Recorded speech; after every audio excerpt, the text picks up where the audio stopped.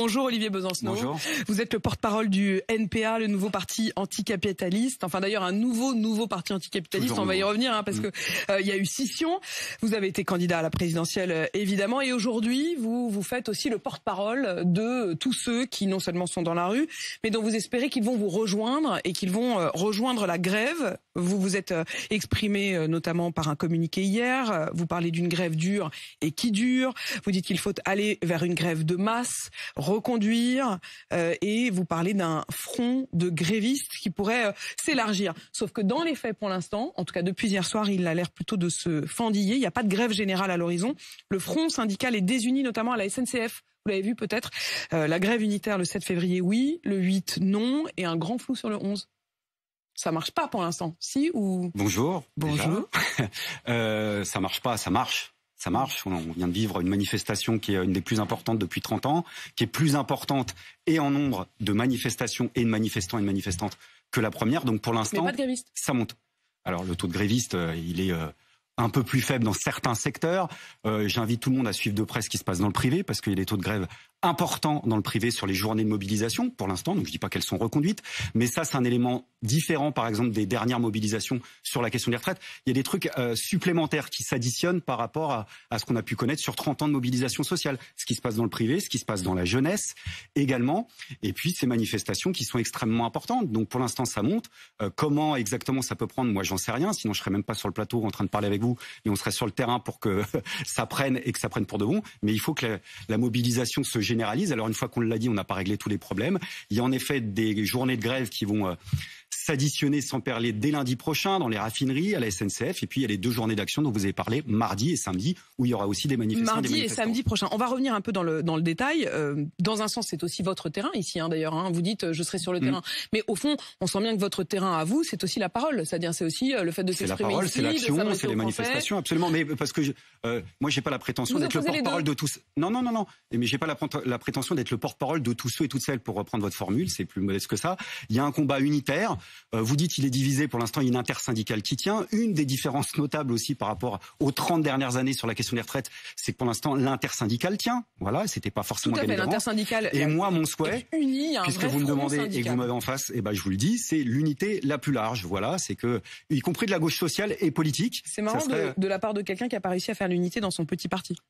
Bah écoutez, alors petit parti divisé, Non, bah, 2000 euh, on peut- 2000 on peut y adhérents, aller, c'est mais vous allez vous allez pas réussir à casser mon enthousiasme. Voilà, il y a des débats politiques. On sait que la gauche, quelle qu'elle soit, y compris nous, donc je me cache pas derrière mon petit doigt, elle est pas forcément uniforme. Mais là, il y a une chance justement historique, même politiquement, si vous me branchez sur le sujet, pour que la gauche rebondisse et que on fasse pas en sorte qu'il y ait ce cours politique inéluctable qui semblait qui semblait aller vers l'extrême droite dans l'opposition à Macron. Je ferme la parenthèse. Je vous dis mon On la enthousiasme. rouvrira, on la rouvrira, Ouais, parce mais y que on va bah, s'intéresser à ce qui se passe dans votre parti. l'ouvrir mais- et même la laisser ouverte. Mais ce que je veux dire simplement, c'est que on serait en droit d'attendre une espèce de ouais de- d'unité compacte entre la gauche sociale et la gauche politique pour faire en sorte qu'on arrive à monter d'un cran dès la semaine prochaine. Olivier Besancenot, vous appelez à des actions locales pour aller vers une grève de masse. Qu'est-ce que vous appelez action locale Bah ça c'est pas moi. D'abord il y en a. En, en vérité il y en a. L'autre Lesquelles truc, bah par exemple il y a des actions sur les autoroutes, il y a des actions dans les universités, dans les lycées, il y a des actions sur les marchés, il y a des actions en direction des usagers de certains cheminots.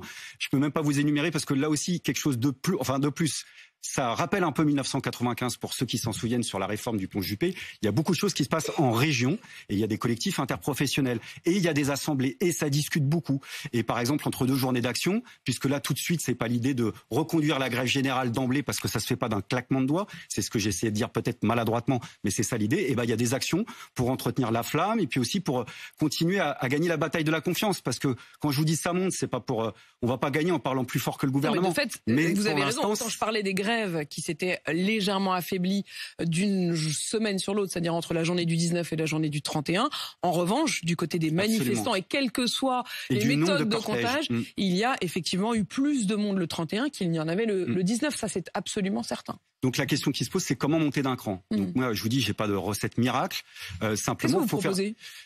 Bah, des suggestions, je sais pas, mais il faudrait en discuter. C'est pour ça que j'appelais une peut-être même à, je sais pas, une réunion unitaire au sommet de toute la gauche politique. Voilà, on n'est pas d'accord sur tout à gauche, sur ce qu'il faudrait faire à Elle la va place. jusqu'où votre gauche politique? Bah, la gauche politique, c'est tous ceux qui sont contre euh, ce projet de réforme. Ça veut dire euh, de Nathalie Arthaud euh, à Olivier Faure. Si j'ai bien compris, tout le monde exprimé contre ce, ce projet-là, par exemple, au niveau politique. Euh, même si on n'est pas d'accord sur ce qu'il faudrait mettre de manière alternative. Mais si on est d'accord pour frapper ensemble sur le même clou, même si on marche séparément parfois, eh ben, il faudra le faire pour imaginer une initiative parmi d'autres qui pourrait contribuer. Je sais pas. Là aussi, euh, de mémoire, on avait à l'époque euh, du traité constitutionnel européen, pour ceux qui s'en souviennent, c'est dans un autre registre, c'est en 2005, une campagne du nom de gauche, une campagne unitaire avec des meetings qui participaient à donner euh, de la confiance collective, avec des collectifs unitaires localement, avec des meetings battre l'estrade. Euh, Moi, je ferai un meeting comme d'autres à Toulouse, par exemple. Donc ça, ça peut avoir un sens. C'est pas la réponse à tout, mais ça pourrait avoir un sens, par exemple, qu'on euh, ben, on essaye de faire front commun, cause commune, avec des meetings, des collectifs, par exemple. Vous avez dit également le gouvernement joue avec le feu. Il ne faudra pas s'étonner s'il se brûle, trébuche ou même tombe politiquement. Mm. Ça, c'est l'espoir. C'est pas l'espoir, c'est ce qu'il dit en fait. Là, je vois euh, toutes ces ces, euh, ces rumeurs ou pas, euh, ça va m'en distiller ou pas, j'en sais rien, de dissolution au cas où. C'est-à-dire que là, on a un gouvernement qui a décidé de, de, de, mettre la, la barre tellement haut en termes de rapport de force que la crise sociale est déjà devenue une crise politique majeure. Parce que pour gagner, je je sais pas dans le détail ce qu'il faudra, mais je sais ce qui marche. C'est quand la mobilisation s'étend, ça c'est notre responsabilité commune et unitaire, et qu'en haut, ça, en haut, ça commence à se diviser, à se fracturer. Est-ce qu'ils auront ou non une majorité au Parlement pour le voter? Est-ce que oui ou non, ça sera une procédure euh, institutionnelle pour faire en sorte que ça passe?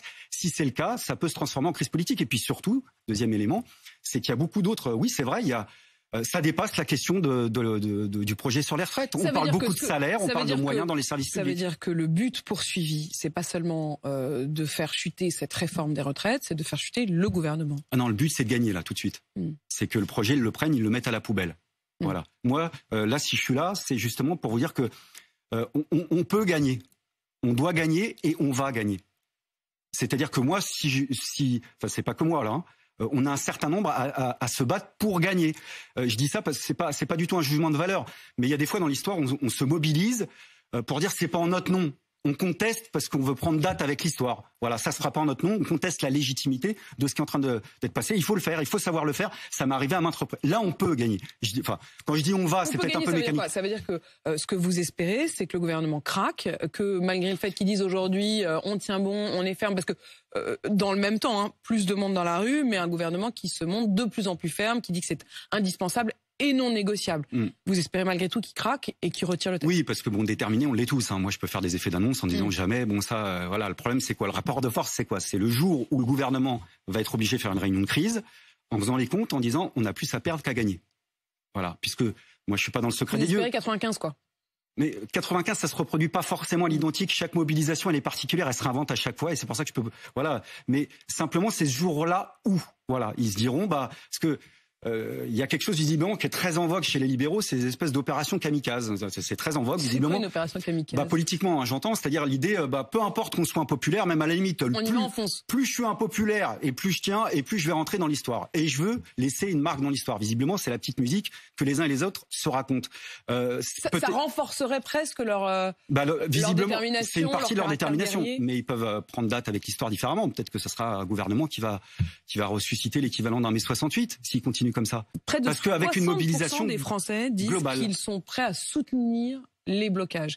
Est-ce que vous, vous iriez jusqu'à, on a bien compris sur la question des blocages, des grèves reconductibles, euh, est-ce que vous allez jusqu'à euh, accepter, voire même souhaiter des euh, manifestations illégales comme les coupures de courant, comme euh, Moi, je soutiens toutes les modalités euh, des grévistes Donc, décidées en action- assemblée. Non, mais moi, de toute façon, c'est pas un scoop. Hein. Nous, on soutient les grévistes dans leur action jusqu'au bout. Maintenant, notre responsabilité, c'est de faire en sorte qu'on, quand je vous dis passer un cran au-dessus, c'est qu'il y ait des choses qui marquent.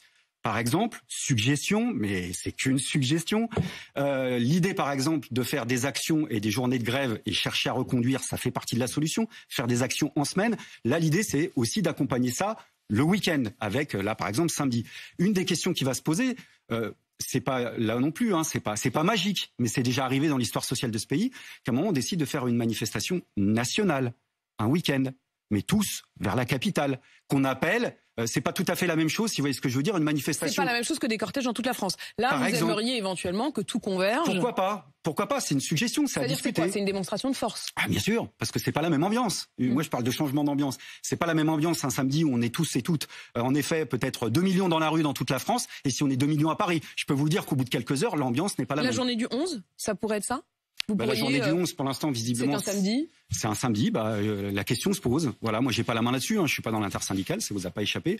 Euh, mais en tous les cas, voilà, ça veut dire que euh, chaque chose va compter. Et puis il y a la bataille de l'opinion à continuer à gagner. Et puis là, par exemple, il y a dans, dans, les trucs qui marchent pas, dans les éléments de langage du gouvernement, c'est euh, ce truc euh, où il faut un GPS pour les suivre. C'est-à-dire là, par exemple, depuis hier, on rentre dans l'application de la contre-réforme de l'assurance chômage, avec l'idée que 25% des indemnités vont diminuer pour ceux qui touchent les allocations, ce qui est énorme, ce qui est même pousse au crime, d'après moi, socialement, mais avec un argument. C'est dire, c'est parce que ça va mieux économiquement sur le marché de l'emploi. Oh, mais si ça va mieux sur le marché de l'emploi, pourquoi vous nous pondez une contre-réforme sur les retraites avec l'argument Ce que vous appelez contre-réforme, hein, euh, pour qu'on comprenne bien, c'est effectivement cette réforme qui est passée. Vous l'appelez contre-réforme parce que vous estimez que c'est conservateur, que c'est un recul. Absolument, parce que pour moi une réforme c'est aller euh, vers l'avant, mais c'est surtout l'argumentation. Vous voyez ce que je veux dire? C'est-à-dire l'idée, bah, puisque ça va mieux sur le marché de l'emploi, on va dire aux allocataires de toucher moins parce que ça va pas durer. C'est ça leur argumentation. Parce que c'est moins, nécessaire. Voilà, en tout cas l'argument du mais gouvernement. Mais d'accord, mais dans ces cas-là, hmm. soyez cohérents. Oh, ça veut dire que si tu penses que c'est le cas. Du point de vue économique, ça veut dire qu'il y aura forcément dans le ratio actif retraité plus d'actifs, puisque le marché de l'emploi va mieux. Alors pourquoi en ce moment? Je veux dire, c'est ça le monde d'après. Le monde d'après Covid. J'ai l'impression qu'il y, a, pardon, qu'il y a une amnésie euh, collective. Oh, on était là au moment du premier confinement, à avoir des doutes, à avoir des craintes. Il y a quelque chose qui s'est passé. On en a eu besoin des infirmières, des livreurs, des facteurs, des factrices, euh, comment, des caissières. Et la récompense, c'est quoi mais si ça va mieux, pourquoi c'est deux ans supplémentaires?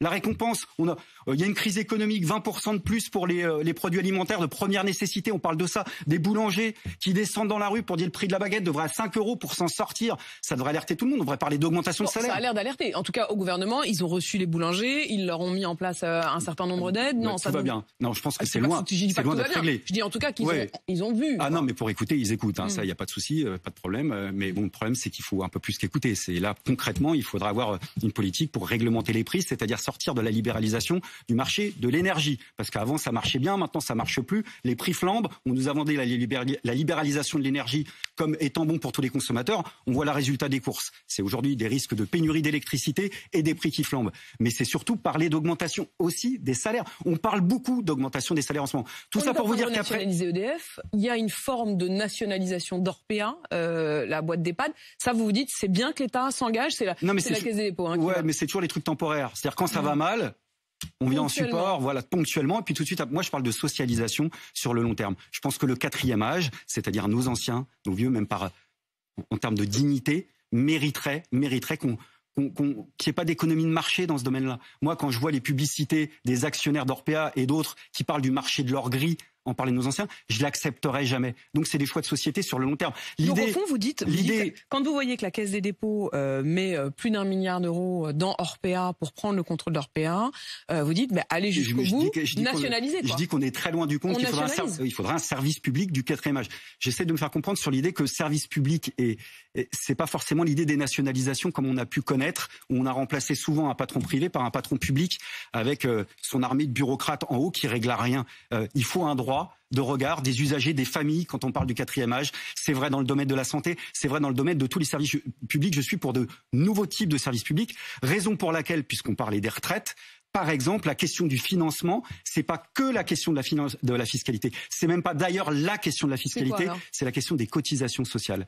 Parce que les cotisations sociales, c'est une partie de nos salaires. Je sais qu'il y en a qui imaginent que ce sont des charges, qu'on n'arrive plus à lire nos fiches de paye. Nos cotisations sociales, par salarié, par employeur, sont une partie de notre salaire qui fait qu'on la verse dans un pot commun. Pourquoi je dis ça? Parce que derrière l'argent. J'ai compris, c'est bien ou c'est pas bien? Bah oui, nous, nous, on, Donc vous nous, dites, vous dites, soyons fiers de, de... Non, parce qu'on de payer ses cotisations? Non, mais on les, le problème, c'est que c'est de moins en moins les cotisations sociales qui financent la sécurité sociale. Au début des années 80, 95% du financement de la Sécu, c'était les cotisations sociales. Maintenant, quasiment majoritairement, c'est la fiscalité. Donc il faut augmenter quoi? Les, les, cotisations, les cotisations sociales.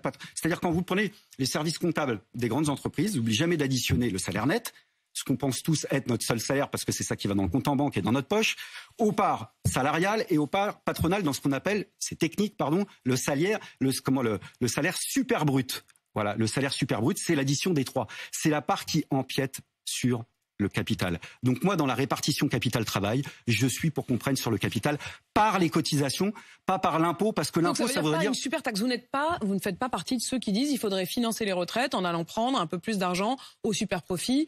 Euh, Alors, Absolument. C'est-à-dire que moi, je serais pour prendre sur les super profits pour financer les services publics. Absolument. Mais vous voulez quand même prendre le... milliardaires, mais, mais, pas non, pour mais ça. écoutez, euh, quand, quand Oxfam, l'ONG, hmm. vous explique que 42 personnes, parce qu'elles sont milliardaires, ont gagné plus de 200 milliards, 200 milliards depuis 2020, comment vous voulez ne pas transpirer et vous expliquer qu'une taxe de 2% seulement permettrait d'avoir l'équivalent du soi-disant déficit des retraites?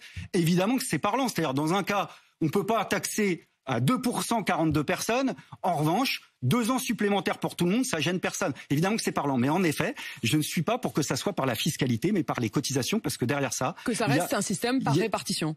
Non seulement un système par répartition, mais il y a un choix démocratique derrière tout ça. Après guerre, les cotisations sociales finançaient la sécurité sociale avec des élections des élections dans des caisses euh, où eh bien la majorité des représentants des cotisants et des cotisantes étaient des organisations syndicales, les, les représentations patronales étaient minoritaires pour la simple et bonne raison que les la représentation patronale est minoritaire dans la société. Ben moi, je serais pour rétablir des élections, qu'on fasse euh, la révocabilité des élus, c'est-à-dire que potentiellement, on ait un fonds de cotisation qui soit géré par les cotisants et les cotisantes, un fonds autogestionnaire. Pour vous parler clairement, je suis pour sortir du marché, je suis pour sortir aussi du système bureaucratique. C'est une troisième voie. Donc, le financement par les cotisations sociales, c'est essentiel. Alors, j'ai pas compris, Olivier Besançon, si vous étiez toujours au NPA. Euh, on aimerait bien que ce soit un peu plus transparent. Vous continuez officiellement à être porte-parole du NPA, mais vous avez coupé en deux le NPA. C'est-à-dire vous dites je suis porte-parole, mais de juste d'une partie. Voilà, je suis porte-parole du nouveau parti anticapitaliste avec Philippe Poutou. On continue notre combat. Christine Poupin, avec Pauline euh, Salin, qu'on va retrouver d'ailleurs dans un meeting. Il y a des débats, il y a des désaccords. Ouais, il y a des scissions. Qu'est-ce qui s'est passé? Mais euh, là, si vous voulez que je prolonge l'ambiance de toute la journée, je peux vous le faire maintenant. Mais la réalité, c'est que toutes les organisations. de dire ah bah non, mais j'en parle pas parce que c'est là. Non, non, mais je peux en parler, mais ça, ça tient mon point de vue à savoir si oui ou non on se vit dans un dépassement, une disponibilité unitaire. C'est mon cas. Je pense qu'une organisation politique, c'est pas une fin en soi, c'est qu'un outil. Un outil, ça veut dire qu'on est disponible à des actions unitaires avec d'autres mouvements qui sont ça veut dire des alliances possibles, ça veut dire absolument, ça veut dire mais avec une partie de la gauche sociale, bah, et plus si affinité, euh, le dépassement, ça veut vous dire. Vous pourriez travailler avec la Nupes, par exemple. Bah, la Nupes, on n'est pas dans la Nupes, mais par exemple, oui, mais vous n'y êtes pas aujourd'hui. Bah, là, je vous répondre. Là, je, euh, euh, si on peut faire une réunion unitaire de toute la gauche dans le cadre que je vous expliquais, eh ben, de faire des meetings communs. Nous, on est disponible pour ça et continuer à discuter aussi des sujets qui fâchent, parfois à gauche. Euh, par exemple, bah moi, l'idée, euh, nous par exemple, on se bat pour le retour à la retraite à 60 ans avant pour les métiers les plus pénibles. Ça, on va dire que c'est un curseur visiblement à gauche. Hmm. Mais sur la question des annuités, si on ne vient pas à l'égalité entre le public et le privé, c'est-à-dire aux 37 annuités et demie pour tous, on raconte des histoires en disant qu'on va partir à la retraite à 60 ans. Parce que quand on arrive finalement sur le marché de l'emploi en moyenne à l'âge de 24 ou 25 ans, vous partez Donc à une retraite. Vous une partie de la gauche qui se dit soi-disant pour des retraites à 60 ans, en réalité ne va pas jusqu'au bout. Bah ça c'est le désaccord avec le Parti socialiste, par mm. exemple, typiquement. Voilà, moi je suis pas d'accord avec ça. Donc mm. euh, moi, euh, on parle d'équilibre euh, du. Ça commence mal hein, votre votre alliance. Non, mais non, mais parce que moi moi je suis pragmatique. Oh, le, tout ou rien, la, la, gauche elle en a crevé. Vous bien dire oh. Ouais, pardon. Alors mm. je vais dire ah ah. Et eh ben il y a des fois on peut être d'accord pour s'opposer et il faut savoir le faire ensemble. Et puis, mais est-ce qu'on pourrait imaginer attendez, je vais terminer, que vous alliez Je vais terminer sans dire O ou hmm. A, c'est-à-dire que admettre de discuter même quand on n'est pas d'accord parce que c'est pas un drame sur les solutions alternatives. Parce que ce que je supporterai pas face aux adversaires politiques du jour, c'est-à-dire le gouvernement Macron, c'est de faire croire que le gouvernement ce serait eux le progrès, ce serait eux l'évolution et nous ce serait le statu quo. Moi je suis pas pour le statu quo. Si j'ai bien compris, Philippe Poutou est avec vous. Hein. Absolument. Il est dans, dans, dans, dans votre parti du, du NPA, Absolument. qui était déjà un, un NPA parce que c'était un nouveau mm. parti anticapitaliste. Donc maintenant, ah il va y bah, avoir un Vous êtes comme sur moi sur O, vous aimez bien faire la blague nouveau, nouveau, nouveau, nouveau, nouveau, nouveau. Euh, Est-ce que je vous repose la question, vous pourriez véritablement et durablement travailler, par exemple, avec LFI oui, mais euh, la question, bon, euh, sur les. Est-ce que vous pourriez aller jusqu'à faire des alliances électorales Alors, donc, il revient sur les législatives, par exemple. Il y a eu une discussion. Nous, on souhaitait avoir un accord. C'est pas arrivé puisque au moment de l'accord avec le Parti socialiste pour la France insoumise, bon, bah voilà, il y a eu il y a eu un, un truc dans lequel on pouvait pas se retrouver. Maintenant, c'est ce que j'essaie de vous dire. Euh, c'est pas la fin du monde. Voilà, on va continuer. Vous savez, les épreuves du feu, c'est les épreuves là qu'on vit maintenant. Voilà, euh, il y en a beaucoup qui sont euh, dans un couloir de course, qui regardent déjà la prochaine présidentielle, même à gauche. Regardez que ce qui se passe maintenant. Voilà. D'ailleurs, même le dénouement politique de cette séquence se joue en grande partie ici maintenant.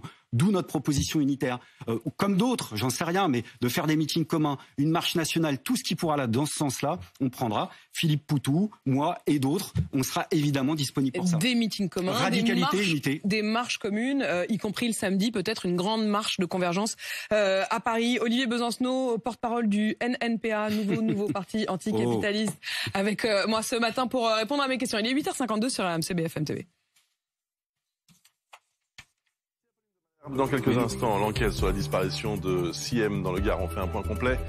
Et puis bien sûr la bataille des, des retraites avec euh, nos invités. Les Français souhaitent que la mobilisation se poursuive, c'est ce que dit notre sondage. Et là, bah tout de suite.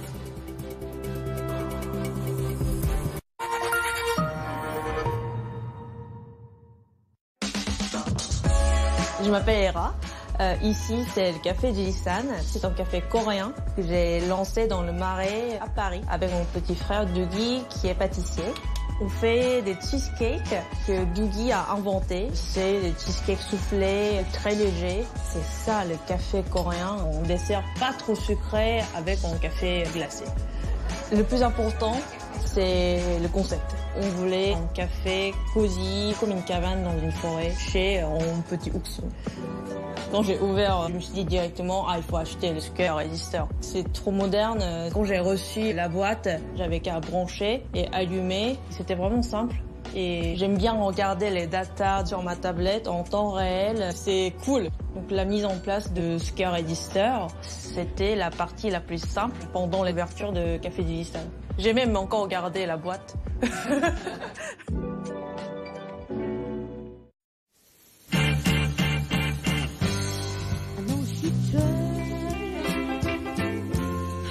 Love is a bouquet. Miss Dior, blooming bouquet. Dior. Pour tailler dans nos factures, faire installer une pompe à chaleur sur mesure. Easy Easy by EDF, c'est jusqu'à 10 000 euros d'aide pour remplacer votre vieille chaudière par une pompe à chaleur. Mes travaux réussis, c'est simple. C'est Easy. Savez-vous pourquoi c'est le bon moment pour acheter un canapé poltron et sofa 1. Parce que vous pouvez avoir un canapé de très grande qualité à petit prix. 2. Parce qu'il est fait à la main. 3. Parce qu'il est italien comme les experts qui l'ont créé. Découvrez nos modèles au même prix qu'en 2017. Vivez votre rêve sur le canapé lit Vernasca pour seulement 498 euros. Ou offrez-vous le frisson du cuir avec Liliaro pour 1656 euros. Profitez des mêmes prix qu'en 2017. Poltron sofa, solo divani di qualità. Et voilà Comment fait-on pour que ce qui a un prix à gauche soit à prix bas à droite? Eh bien, on travaille ensemble. C'est une coopérative de commerçants qui rencontre une coopérative d'agriculteurs. On réfléchit à la meilleure façon de produire. Et toujours ensemble, on améliore la rémunération des agriculteurs tout en proposant des prix bas. C'est ça une filière U. Et aujourd'hui, nous vous proposons plus de 300 produits filières à prix bas. Des valeurs fortes et des prix bas. U. Commerçants, autrement. Oui, elles sont électriques. Mais ce n'est pas tout. Quand elles se rechargent, vous vous ressourcez. Elles transforment vos premières impressions en souvenirs mémorables. Maintenant, admirez-les à nouveau. Si vous regardez attentivement, vous verrez qu'elles sont innovantes, électriques et tellement plus encore.